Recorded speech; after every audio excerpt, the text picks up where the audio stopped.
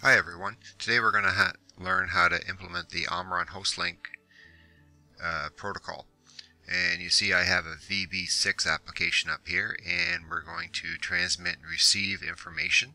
We'll look for data memory 0 to 9 and we'll just look at the code and you can see here this is my command statement which I'll be looking for and I look for 51 characters return and I have a checksum calculation or FCS and then we have a communication function.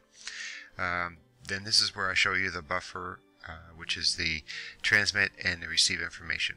We then take that information, break down the data coming back and display it on the um, form. Here where we open the port, close the port, and add the sub. So further down here, you'll actually see the FCS or checksum calculation. It's an exclusive OR of all the bits in the command. And you can see my communication routine. So basically we open the port, um, stick the data in, and then bring it back. When we bring it back, we actually uh, check again for the checksum calculation on the return. So we make sure that that information is valid.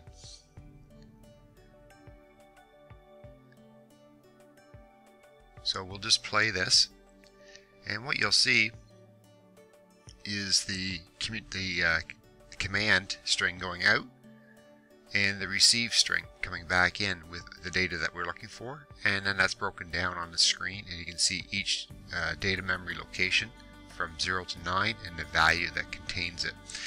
Um, again this program is updating every second and so you can see that the Hostlink protocol is very easy to implement.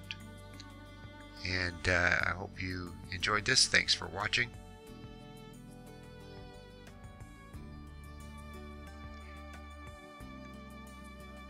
For further information, go to accautomation.ca for the complete list of this program.